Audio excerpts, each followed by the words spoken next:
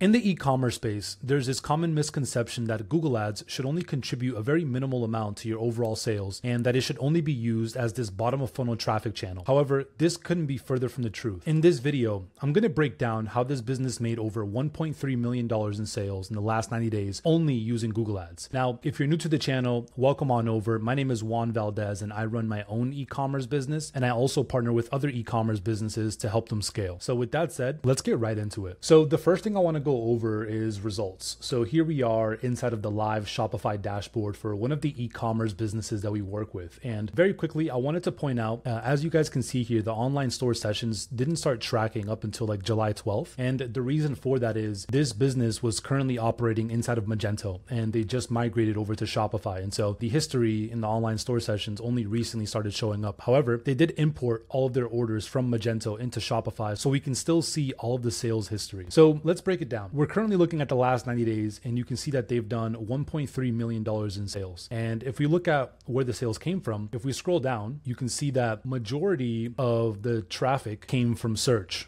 right? All the sessions right here broken down by traffic source. We have search in first place, direct in second. And then if we also look at the sessions by social source, you can see that when it comes to paid social, you know, they're not doing too much, right? We have traffic coming in from YouTube, some traffic from Facebook, but majority of the traffic is from search. And so I wanted to quickly highlight that. Now that we covered the data from the Shopify dashboard, let's look at the ad account. So here we are inside of the ad account, and you can see that in the last 90 days, we spent a total of $200,000 on ads. We generated $775,000 in sales, and we ended with a 3.84 return on ad spend. Now, we also run ads on Bing for this business, and here you can see that in the last 90 days, we spent a total of $27,000. We generated $114,000, and we ended up with a 4x return on ad spend. Now, now, again, that doesn't account for all of the sales. The rest of the sales came from organic. So here we are inside of Google Merchant Center. Here you can see a breakdown of the traffic that we get directly from ads in the last 90 days, and also the traffic that we get organically from the free listings that we have up on Google Shopping. And so I wanted to cover a full breakdown of the ad accounts, but also Google Merchant Center, because again, when we look at Shopify, you can see that majority of the traffic for this in particular business is coming from Google, a mixture of the ads that we're running, but also organic organic traffic. And even more specifically, majority of the overall sales are actually coming from Google Shopping ads, which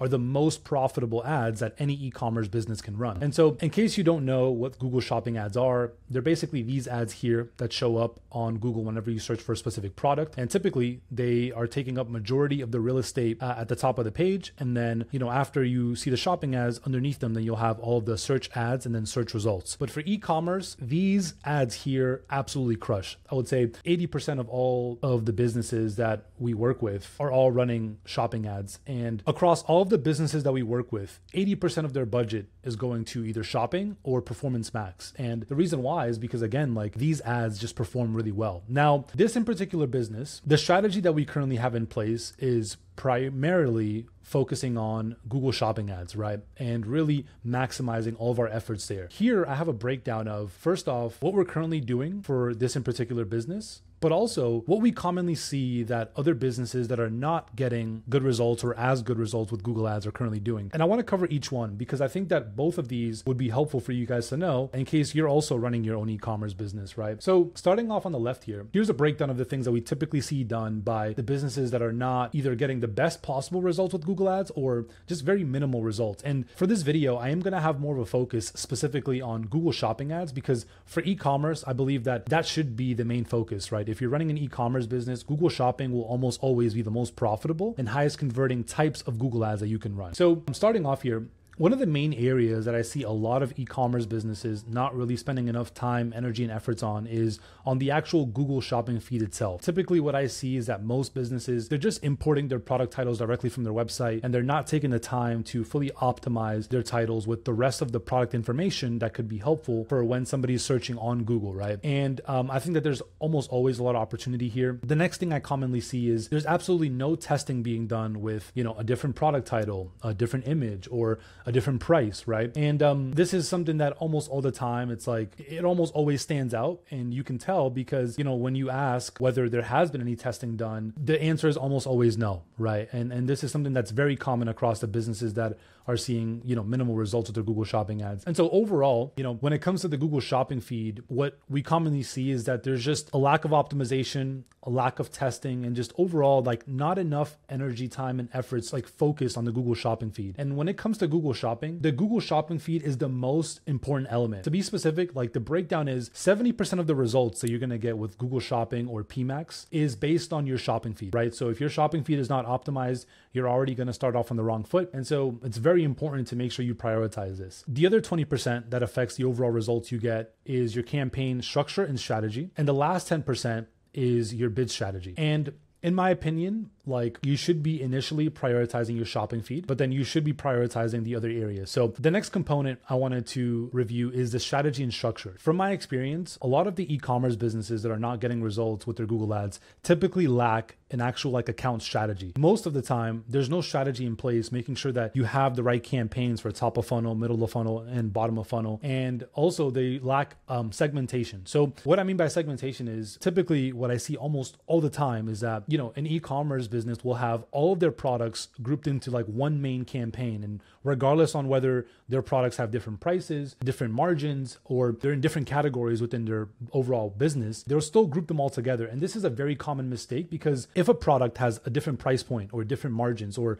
it's in a different category, it almost never makes sense to group all your products all together. And so very commonly, you know, this is something that I almost always see. And like anytime that I review an account, I can very easily tell like, you know, if we fix this and we actually implement a structure, then we we can almost always get better results. And so overall, you know, when it comes to strategy and structure, I just very commonly see both strategy and structure lacking on the accounts that are not performing as well, right? And so almost always whenever I review an account, you know, I can almost instantly pinpoint whether there's opportunity or not just by looking at the overall strategy and structure of the account. Now, let's move on to the next component. Part of the equation is what you're doing with your Google Shopping feed and inside of your Google Ads account. However, the other component is what's happening once people click on your ads and actually go on either your product or your landing page. Most of the time, the e-commerce businesses that I see that are not doing as well with their Google Ads is typically because of a couple reasons. One is they're not reviewing the overall performance from their Google Ads and their product or landing page, right? They're kind of just reviewing the performance as a whole of their product page and landing page from all their channels specifically. And so I believe that you should be looking at the direct performance from your Google Ads and your landing page instead of looking at all at once, right? Because when you're looking at blended results, you can't accurately measure, you know, what's actually performing specifically from the people and the traffic that come from your Google ads to your actual landing page. And so almost always uh, I see that, you know, any accounts that we come across where they're not seeing the best results, this is one area that almost always needs to be reviewed. Next is I noticed that a lot of the times there's little to no research done to actually improve the product or the landing page. What I typically notice is that a lot of the businesses will just simply you know they'll try some things out but there's no strategic tests being done based on like what's currently working in the marketplace right now and so overall when it comes to the product and landing page i believe this is also a super important area that needs to have its own time energy and efforts allocated. And the reason why is because it plays a big component. I've seen times where we've been able to keep the exact same ads running, right? And all we had to do was simply improve the product or landing page, and we were able to get much better results and performance from the same ads without even changing anything in the ad account, right? Or the shopping feed. And so this is something that's definitely worth reviewing. Now, on the other end of the spectrum, here I have an overview of all of the things that I commonly see being done by the e commerce businesses that are getting good results with their Google ads. So, I mean, these are a breakdown of the things that we're currently doing for the business that I just kind of went over. This is exactly how we're helping this business generate almost all of their sales primarily through Google ads. And so, um, let's go through each one. The first thing is we are prioritizing the Google Shopping feed. Before we even got started working with this business, majority of our focus was literally on the Google Shopping feed. And so literally one of the first things that we did is we reviewed the shopping feed. We took the time to look at okay, well, you know, for certain products and certain categories, what are other listings that are showing up above ours, right? And what are they doing? What do their product titles look like? What do the images look like, right? And so by doing this, we're able to figure out what variables we need to test, whether it's the title or the image, to rank higher in the Google Shopping results. And so this is one of the very first things that we do for all the businesses that we work with. And this is something that almost always leads to us being able to get a lot better results than the previous results before we came in. And so, you know, after we do our initial research based on, again, you know, what's currently working for the listings that are getting uh, the best search results for the their product categories. We then prepare specific title tests, specific image tests, specific pricing tests. And basically, once we run these tests, we then optimize based on what's performing, right? So we take the best performing titles, the best performing images, and the best performing pricing, and then we roll that out across all of the products, right? And so this is something that we not only do once, but we're typically doing at bare minimum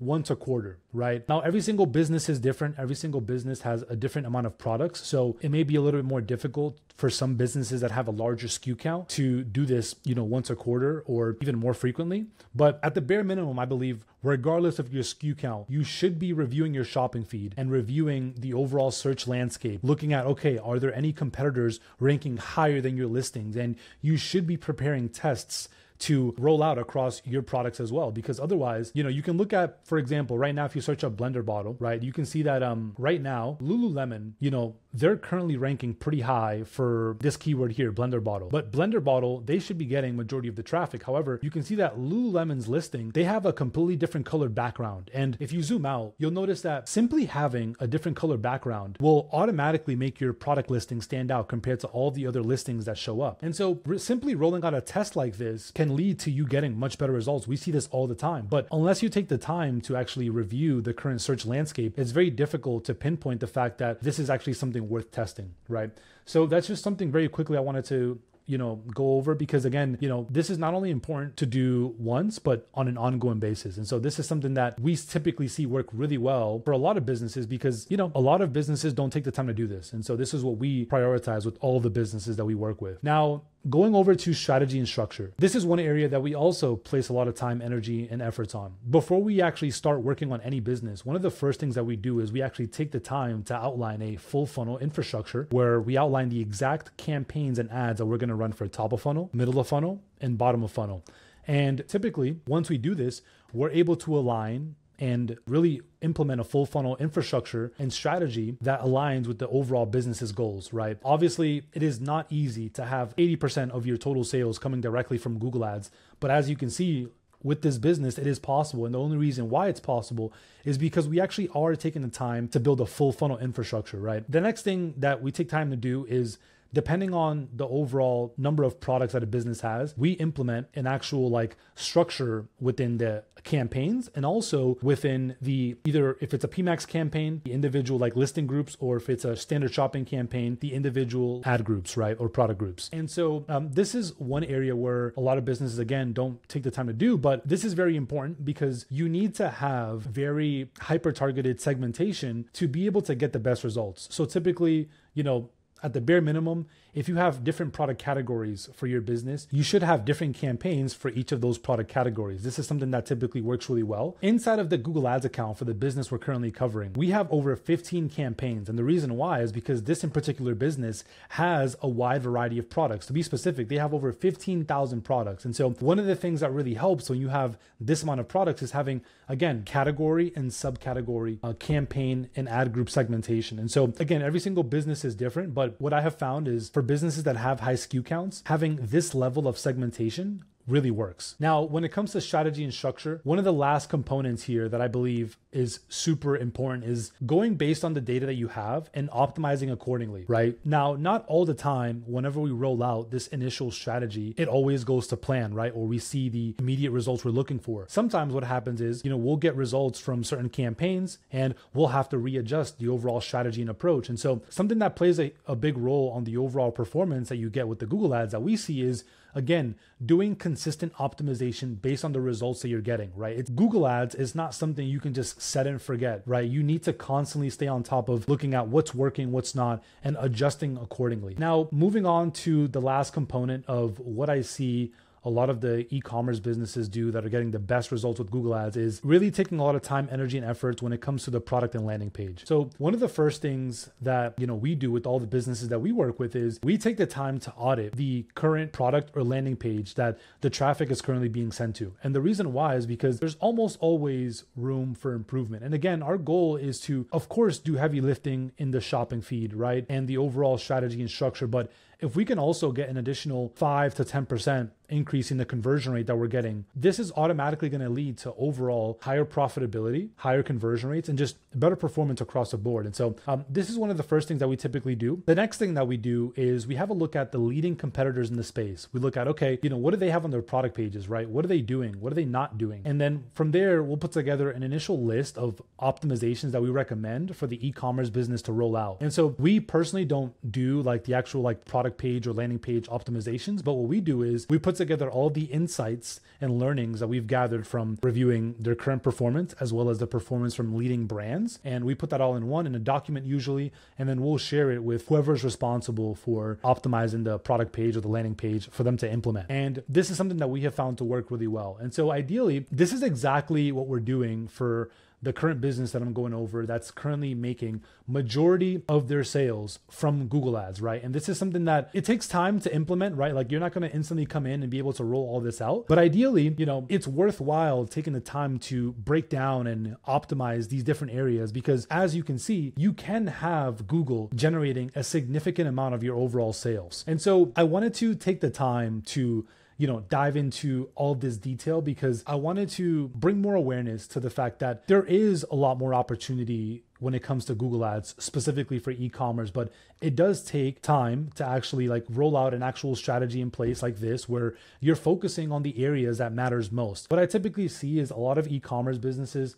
at least the ones that are not getting the best results with their Google Ads is that they spend a lot of time on the wrong things, right? They spend a lot of time trying to tweak, you know, these things that just don't move the needle at all. And so what I want to do is just bring more awareness on where the needle can actually be moved when it comes to the Google Ads specifically for e-commerce businesses.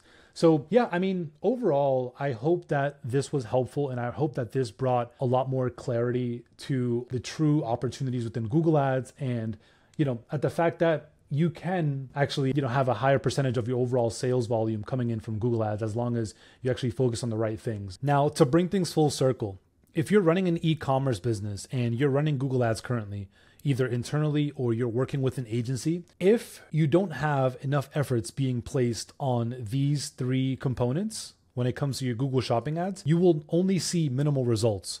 You will never be able to scale to your business's true potential with Google shopping ads unless you have enough time, energy, and resources placed on these three components specifically. From my experience, this is what we typically see time and over again. And so I wanted to stress the importance of this because once you actually are focusing on these three areas, which actually matter the most, and you're getting good results with your Google ads, you can then expand over to Bing ads, right? As you can see, we're currently getting 15 to 20% of the total volume that we're getting from our Google ads from Bing, right? And that's typically what we see, right? Most businesses, you're never going to have like a large amount of search volume on, you know, Bing, but you can still get anywhere from 15 to 20% of the total volume that you're getting from Google. And ideally, um, it makes sense to expand over to Bing once you're already getting good results on Google, right? That's typically what we see. And then also, once you're getting good results with your Google ads and your feed is optimized and all of that good stuff, then you know you want to make sure you're also paying attention to the organic reach that you're getting and the organic traffic because this can also play a big role in the overall volume that you're able to get from sales directly from Google, right? And so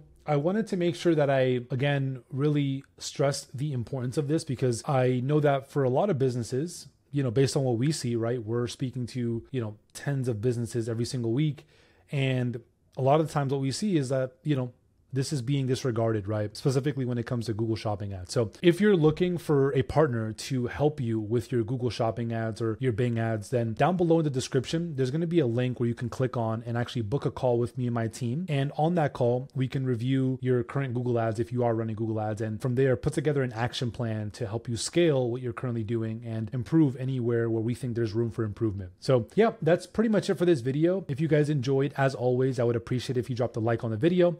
Um, if you have any questions about anything that I covered in the video, uh, you can drop them down below in the comments. And with that said, I'll catch you guys on the next one. Peace.